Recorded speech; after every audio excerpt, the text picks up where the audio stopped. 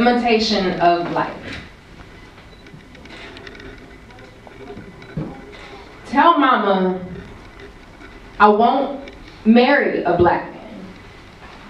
Tell mama I looked in the mirror today. And not to my surprise, my reflection refused to look back. You know, for years I wondered why Disney didn't mention that the boogeyman didn't hide under bed but within my own shadow. I wondered why Walt didn't mention that hearts the color deferred don't dream while he failed to explain why those lost boys never grew up. So tell mama, I won't be marrying the color Alice doesn't find in Wonderland. The color kids only use crayons to outline bodies with the color Oreos dipped in white milk. The color butlers wear over their white shirts. The color branches, the whole color ropes, that whole color bodies.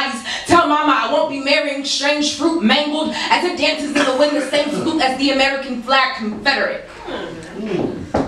Won't watch my own heart shoot out its chest the same way bullets leave the gasket, praying to God. They both land with hope, won't bow my knees to the pavement, covered in streams of black blood leading to the ocean of a man I share shores with. Won't fear birthing a son who will return unto me an unfinished book. Won't weep a poem of tears that look more like braille than black skin.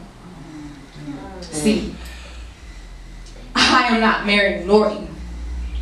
I don't watch sunsets. And my womb isn't strong enough to house a seed of bitterness, but in the event that I do marry a black man to be gunned down in the streets like Oreos, overwhelmed by white milk like s'mores, smothered by marshmallows.